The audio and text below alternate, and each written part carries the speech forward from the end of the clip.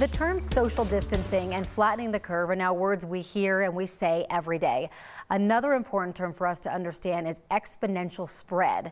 Here to explain what this means and why it's important is our Nine Health expert, Dr. Payal Kohli. So what is exponential spread? So exponential spread is a critically important scientific concept. And you can see on the graph back here, it's demonstrated very nicely. So if I were to catch the coronavirus and I were to give it to you, Gary, and Natasha, that's three people, each of you would then go home and give it to an average of two to three people. So that's now up to nine people. And then each of those nine people would then give it to an average of two or three other people. So you can see that from one person up to millions of people can occur in just a few short weeks.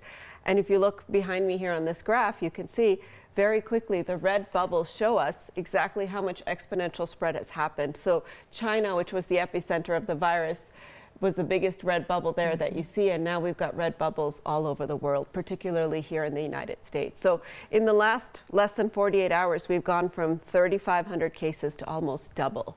And that is a demonstration to me that we're having exponential spread very rampantly right now, and we really need to work on that social distancing even more than we're doing at this time. Yeah, I mean, this graph like definitely points out Italy. Italy was like such an example of that. Their cases skyrocketed so quickly.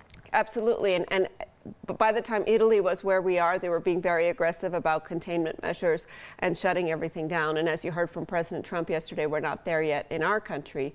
But that's why we as citizens, I think, have to really take matters into our own hands to really prevent this from becoming Italy. Do you think more cities need to do what San Francisco just did? Absolutely. And I commend San Francisco very much for what they did because I think that's setting an example. Having said that, there's a picture from San Francisco this morning where everybody's out running, everybody's out with their dog.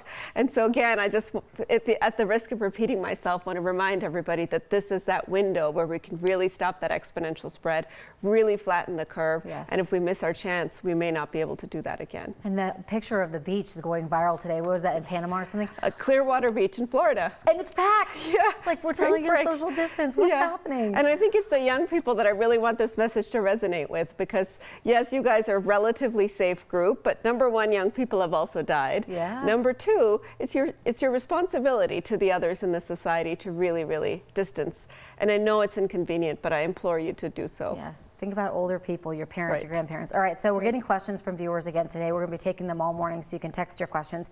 This viewer asks, once you get the virus, will you be immune or can you catch it again? Uh, so we think most likely you'll be immune based on the fact that it probably is behaving like every other respiratory virus. But there have been some case reports in China where people have had reactivation of their symptoms or have tested positive again for the virus even after being negative. So we don't know if that's because the immunity has waned or gone down over time or because the virus can mutate. Okay, such good questions from our viewers. Yes. If you have one, Dr. Kohli is going to be here all morning answering those questions once again. 303-871-1491. Just text your question over and she'll answer them. Dr. Thank Kohli, you. thank you.